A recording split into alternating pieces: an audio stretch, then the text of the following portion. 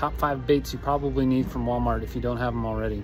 Keitech Lake swimmers, something like a three, three and three quarter shad pattern. Put them on a jig head, quarter ounce or so, or use it as a trailer for something. The super fluke. Hard to go wrong with that. Anytime spring, summer, fall, around grass, that is a clear winner. Yamamoto Senkos. Yes, they're more expensive than the Yums, but I believe they work better. The Strike King Red Eye Shad lipless crankbait. Gotta have it.